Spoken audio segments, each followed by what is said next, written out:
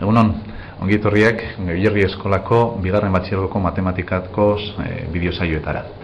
Oraingoan laugarren unidade diaktikoarekin hasiko gea, geometria hain zuzen ere, eta gure lehenengo helburua izango dugu e, espazioan agertzen zaizkigun elementu desberdinek matematikoki nola dirazten diren ezagutzea. Eta espazioen agertzen zaizkigun elementu horiek izango dira puntua, zuzena eta planoa, hain zuzen ere. Puntuarekin hasiko gea. Oan puntuaren adierazpena egiteko, berez, edozein espazioko puntua adierazi nahi baldin badugu, erreferentzio sistema bat erabiliko dugu, hiru ardatza perpendikularrez osaturik, x, y, z, eta berez, e, puntuaren kokapena adierazteko jatorritik, erreferentzio sistema horren jatorritik, a punturaino di joan, oa vektore hau izango da definituko duguna, posizio vektorea hain zuzen ere. Beraz, a puntua adierazterakoan, benetan adierazten ari garena, oa e, vektorea izango da eta bere hiru osagaien bitartez emango dugu A, B eta C.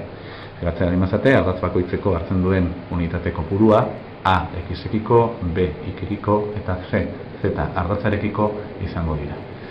Horrela diaziko ditugu, hirua jarraian koman bitartez eta parentesi baten barruan. Adibidez, demagun daukagula A puntu bat eta bere osagaiak izango balia.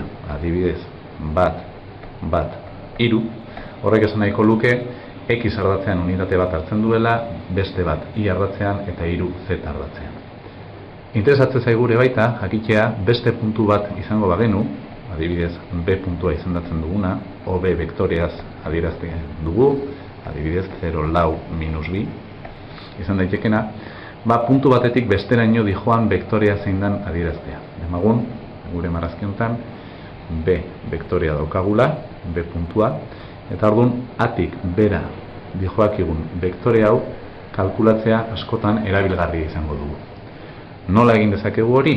Ba, ba, AB vektorea kalkulatzeko egin beharko duguna da B vektorearen osagaiak ken A vektorearen osagaiak e, lortu.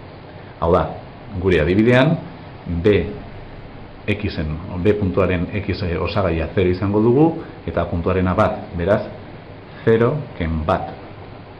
I ardatzarekiko lau ken bat izango genuke eta z ardatzarekiko minus bi ken iru markatu, minus bi ken iru hau da AB vektorea izango litzateke minus bat iru minus bost vektorea ongi da